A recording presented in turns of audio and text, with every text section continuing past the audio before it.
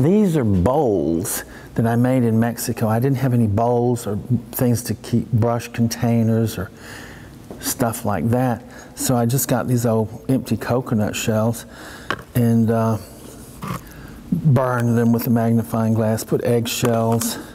That's a scorpion because you have to lift the toilet seat up every time you pooped so you didn't get stung by a scorpion that might be sitting underneath the thing. You had to shake out your sandals and shoes every time you put on your shoes to walk through the jungle because there might be a scorpion hiding in one of them. Same thing with your pants. Like the bed was suspended from uh, strings, cords, floating beds with mosquito nets around them. But that you get used to jungle life.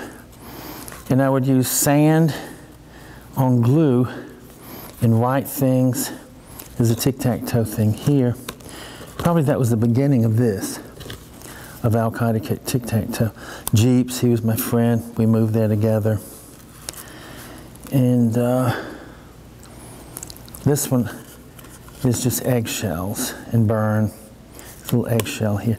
Anyway, I made about 50 of these and where they've ended up with different friends and whatnot.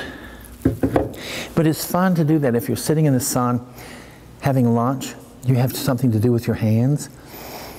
Uh, today, everybody's got their cell phones clicking. But then, if you're sitting at the jungle, you can be carving while you're, you know, thinking before the food, after the food, waiting for dessert.